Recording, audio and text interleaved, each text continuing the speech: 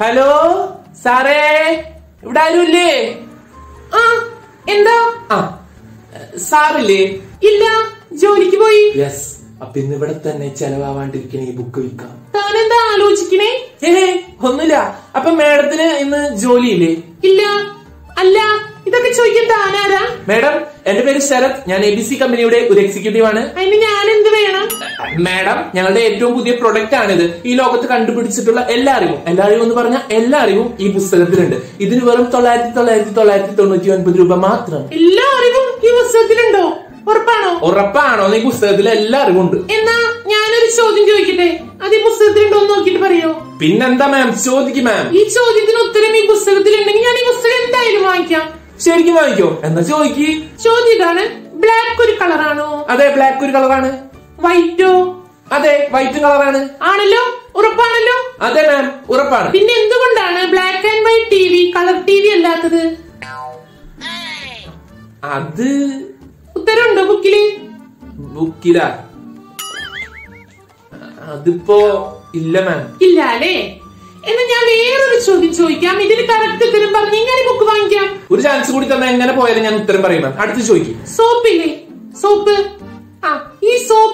Use എന്താ? സോപ്പോ. നമ്മുടെ ബോഡിയിലെ ചെളിയൊക്കെ wash ചെയ്ത് കളയാനായിട്ടാണ് സോപ്പ് യൂസ് ചെയ്യുന്നത്. ഇത്ര സിമ്പിൾ ചോദ്യമായിരുന്നു. ഇല്ല.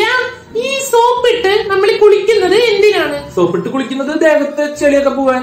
അപ്പോ കുളിച്ച ശേഷം നമ്മുടെ ദേഹത്ത് ചെളി ഉണ്ടാവും? കുളിച്ച ശേഷം ദേഹത്ത് എങ്ങനെ ചെളി ഉണ്ടാവണം മാം സോപ്പ് ഇട്ട് നമ്മളൊക്കെ കഴുകി കളഞ്ഞില്ലേ? അങ്ങനെയാണെങ്കിൽ കുളിച്ച ശേഷം നമ്മൾ ഉപയോഗിക്കുന്ന തോർത്ത് എന്തുകൊണ്ടാണ് മുഷിയുന്നത്? തോർത്തിൽ ഇപ്പൊ എന്താ ചെളി ഇല്ലാത്ത ആൻസർ ഉണ്ടോ ബുക്കിൽ ഇല്ല. ഇല്ല. എന്ന് ഞാൻ ഒരു ചോദ്യം കൂടി ചോദിക്കട്ടെ? അയ്യോ മാഡം. ഇനി ചോദ്യം ചോദിക്കണ്ട. വേണ്ടാത്തോണ്ട. വേണ്ട. ചേട്ടൻ പറഞ്ഞത് ശരിയാണെന്ന് എനിക്കിപ്പോ മനസ്സിലായി. ചേട്ടനാ? ഏത് ചേട്ടൻ? ചേട്ടനാ? ഇവിടുത്തെ ചേട്ടൻ? ചേട്ടൻ എന്ത് പറഞ്ഞു? ചേട്ടൻ പറഞ്ഞതാ. എല്ലാ അറിവുള്ള ബുക്കല്ലേ? അയ്യോ അത് വേണ്ട എന്റെ കല്യാണം കഴിഞ്ഞത് എന്റെ ഭാര്യയ്ക്ക് എല്ലാം അറിയാം.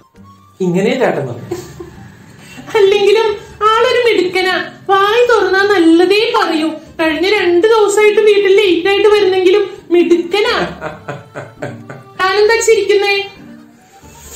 മേഡം മേഡം ഈ പുസ്തകം വാങ്ങിച്ചില്ലെങ്കിലും മേഡം വാങ്ങേണ്ട ഒരു പുസ്തകമുണ്ട്.